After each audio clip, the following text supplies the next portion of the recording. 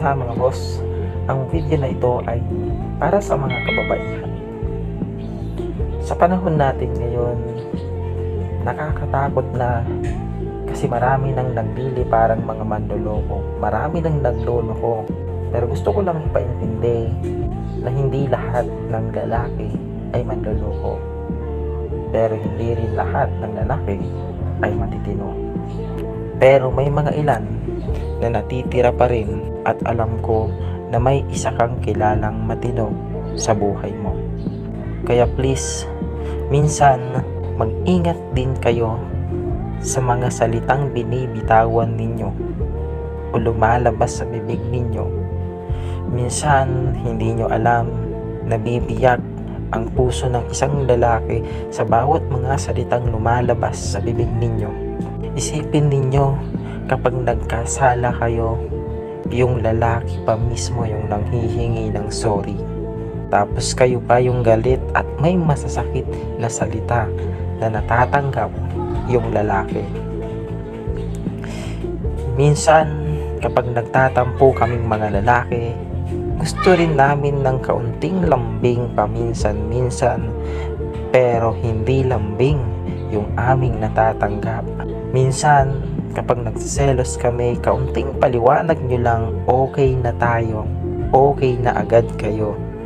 Pero kapag kayo yung nagsiselos, kung ano-anong effort ang ginagawa ng isang lalaki para lang sa'yo. Pero alam ko, madalas talaga na may masasakit kayong nagagawa at nasasabi at dahil nakikita namin na masaya naman kayo, nakikisabay na lang kami sa tawanan para matago lang kahit sobrang sakit na.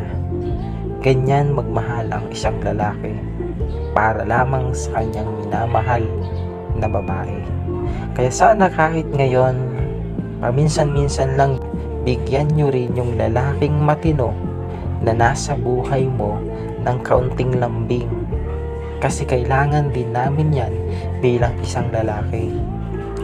Hanggat andyan pa yung lalaking kayang-kaya kang tiisin, kayang mag-stay, kayang gawin ang lahat, mapasaya ka lang, kahit nasasaktan na siya, please pahalagahan mo siya. Yung tipong kayang pasayahin yung taong mahal niya, pero sarili niya, hindi niya magawang mapasaya. Ingatan mo yan ngayon sa panahon na marami ng lalaking nagloloko, huwag mong pagdudahan yung lalaking partner mo ngayon na baka balang araw magloko rin yan. Appreciate mo siya, mahalin mo siya at magtiwala ka sa kanya dahil ikaw rin mismo ang nakakaalam kung matino ba yung boyfriend mo o yung lalaking mahal mo. At kung palagi kayong nag-aaway, ayusin ninyo. Tandaan mo, hindi pa huli ang lahat. Pag nag-away kayo, pwede ka rin mag-sorry. Pwede mo ring sabihin sa kanya na ang swerte ko kasi mayroon akong ikaw. Yan yung mga bagay na simple lang pero napapasaya mo na ang isang lalaki. Kaya kung gusto mong sumaya, iparamdam mo rin sa lalaking mahal mo na mahalaga siya at ipaparamdam niya na mahal ka niya.